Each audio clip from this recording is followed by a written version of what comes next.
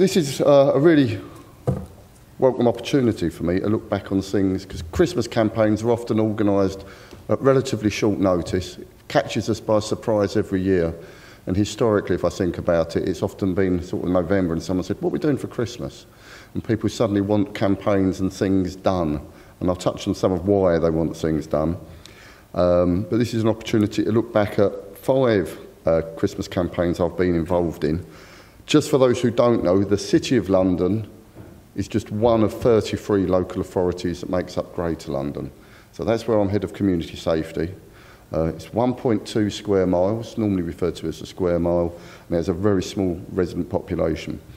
Greater London, very different beast, and the money for most of what I'm going to talk about, the campaigns, largely, or the money that started things off came from the Greater London Authority, which has the Mayor of London.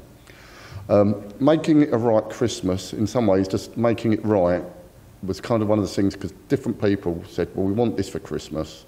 We want this to happen. We want these outcomes. And when you start digging, what exactly do you mean? You often got to, can you just make sure it's all all right? Just make it right. And interestingly, Westminster, one of the other local authorities that make up London with a big nighttime economy, their, all their stuff, they're just calling it End the Night Right, is their current campaign, which has some interesting sponsors. Anyway, if you get bored, just look at the psychedelic baubles and it will all be over really soon. Obviously, there's been lots of alcohol campaigns. Uh, this is just a smattering of them. Um, we all have seen the ones, you know, the ones highlighting how embarrassing it can be, the state you can end up in, um, the potential for ending up in the cells, wasting your future, opportunities, uh, the, delightful news that alcohol can also cause you cancer. Squeezed in one there that does mention Christmas, but often I think it would be fair to say a lot of Christmas alcohol campaigns have lacked a degree of seasonal sensitivity. It's been very much on the, you know, you, you're going to end up ruining your Christmas and you're going to, or you're going to end up in a cell.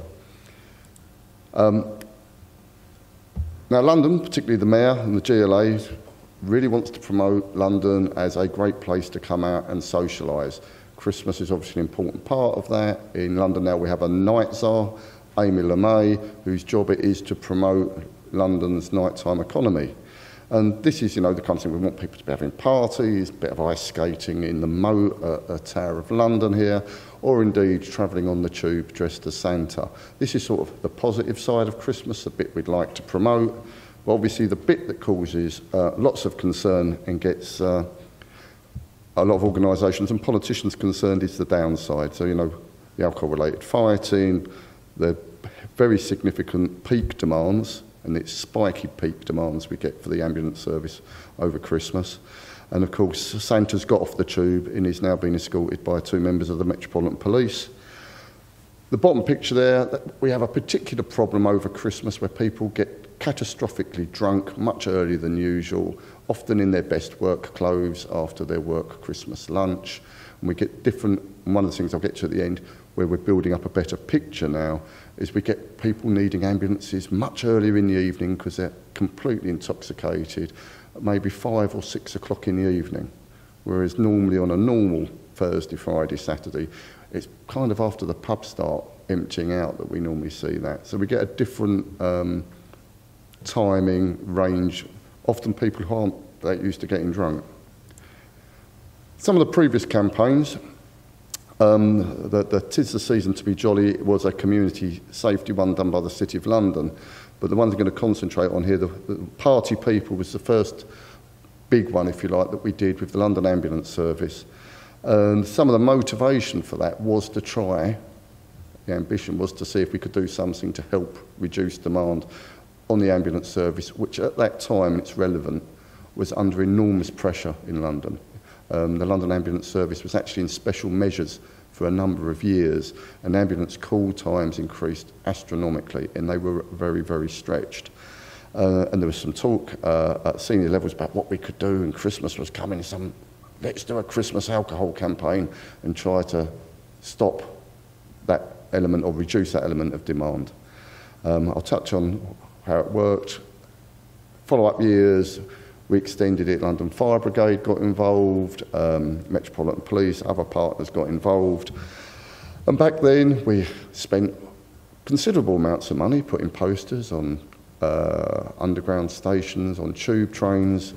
We handed out lots of Oyster card holders, and obviously, if you get a plastic Oyster card holder, you're immediately going to think, I should drink less at Christmas.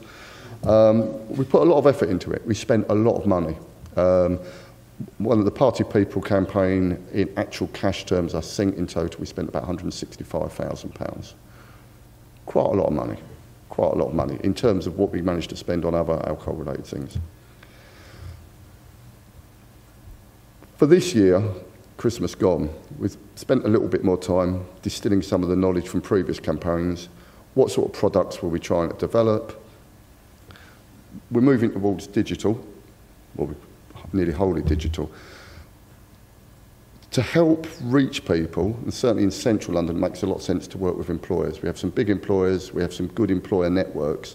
We can put things out to them. We have found over the period that we've been, or I've been involved in these campaigns, employers are increasingly open to the idea of advice and support that they can be seen as responsible companies and if they are going to have a, a works Christmas do, they quite like to put in a little bit of responsible drinking message.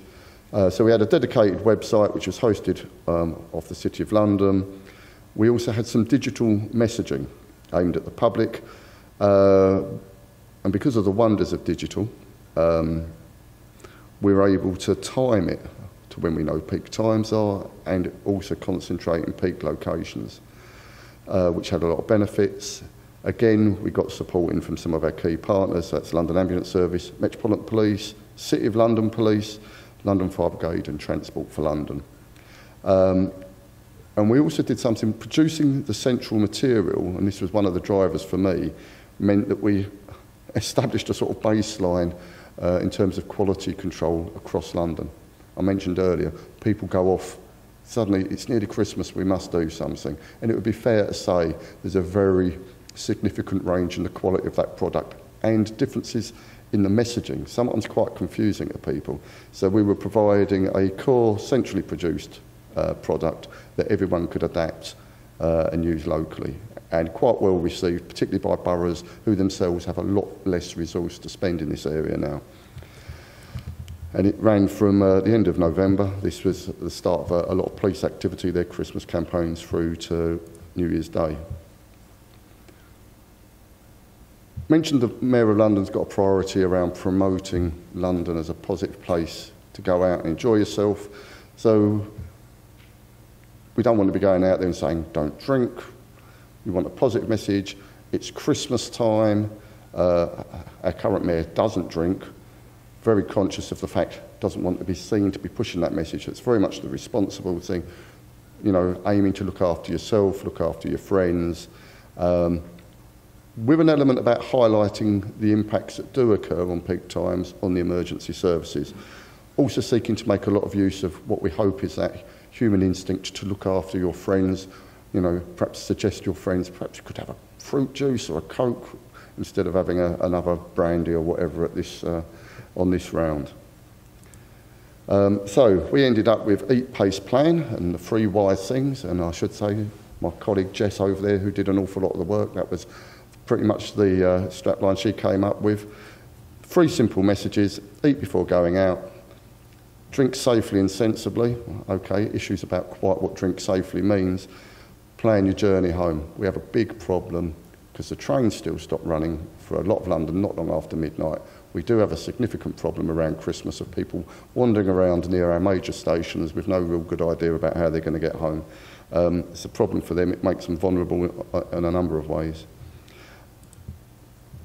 Uh, the resources, we had an e-toolkit, as I said, really aimed at employers, and it was done so people could adapt it.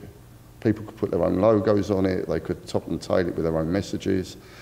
Um, local authorities, quite a lot of our health trusts picked it up as well.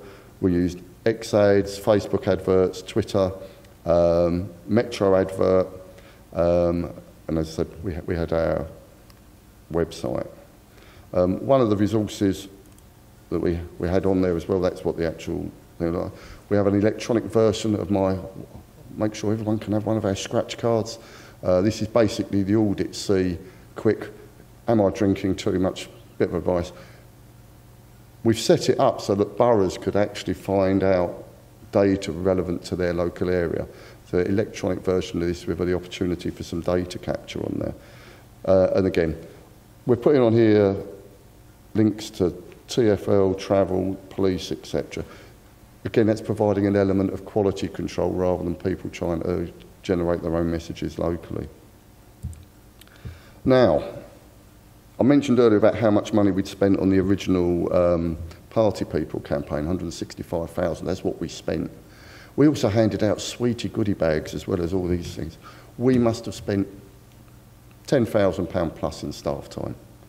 You know, there was highly um, skilled London Ambulance Service staff, anyone I could beg and borrow, sticking sweets into bags to hand out uh, central locations, handing out Oyster card holders.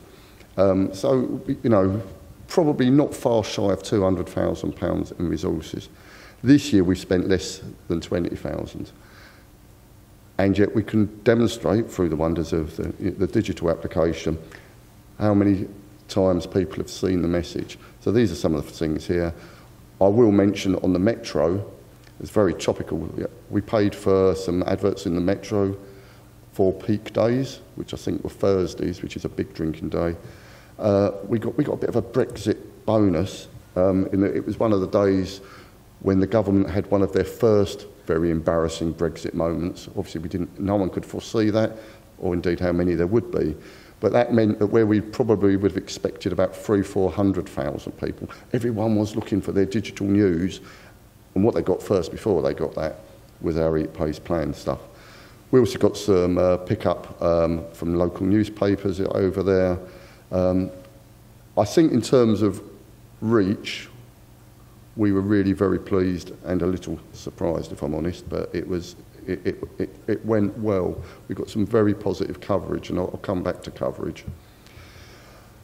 We had various people um, tweet. I've, I've mentioned the Night Tsar Amy Lamé, LAS picked it up, councils picked it up. Um, Leonardo DiCaprio was our most popular. Um, so a little bit of humour there to help spread uh, the message. This is a bit where I could make some entirely implausible claims uh, for its impact. Um, if you can see the first year of the campaign, you've got that wonderful dip. Um, I suspect that's a bigger factor that the LAS was in a terrible position at that time and people knew you weren't going to get an ambulance and the ambulance service was, unless you were having a heart attack, you weren't going to get uh, an emergency response. Um, one of the things that's become clear as well to me is ambulance data, a bit like crime data in my other world, the way it's counted pretty much changes every year. Operational procedures have a huge impact. Um, and the numbers look, you know, if you, if you round them up and say, you know, five and a half, six thousand people over December uh, the LAS in relation to an alcohol-related incident. That is a big number, but if you put it against the number of people who are going out in London, the City of London alone has 40,000 people out in its pubs and clubs on a busy night.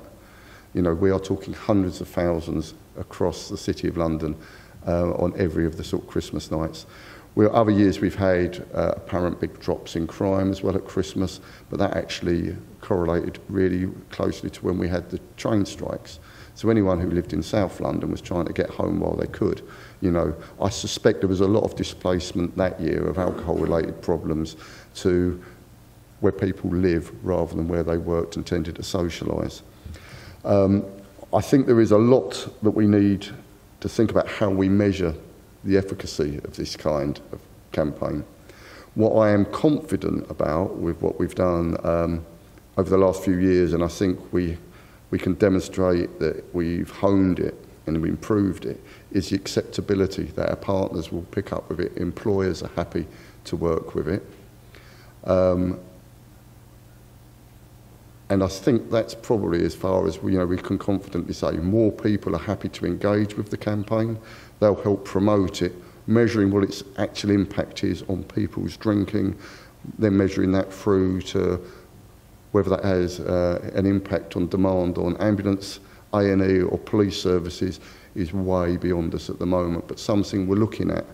And this has driven some really good work, which may help with that. Um, I can't show you it here now, but uh, we have some wonderful analysts in the GLA, and we don't make a lot of use of them, actually.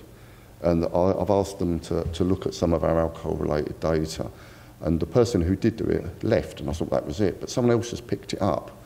And they've done some amazing work that I can see what date, what time, uh, male, female, age, borough, when alcohol-related incidents are happening. Now that gives us a great opportunity, particularly using digital messaging, to target that resource. Also useful to start identifying, you know, younger people tend to cluster around certain dates. When you get through to, for example, Christmas Day, Hardly any young people require the LAS for alcohol-related incidents on Christmas Day. The over 65s are very heavily represented. You can only imagine it's the danger of sherry and perhaps carving the turkey, but we, there is a lot we could do there in terms of targeting our message and looking at resources. So I'm hopeful um, as we work on that, and it's also got police data, Transport for London data, that we might get to a position to be a little bit more confident in, in terms of seeing what has an impact. Uh, and they've also put temperature, the, the median temperature in there, which perhaps isn't that important for Christmas campaigns, but as we start looking at when our peak problems, which are in the summer, then we know that temperature's got a big role there. So we, we are going to be able to start evidencing uh, with a lot more accuracy when we have problems, and hopefully that will help us respond to them. And that's me. Thank you. scratch cards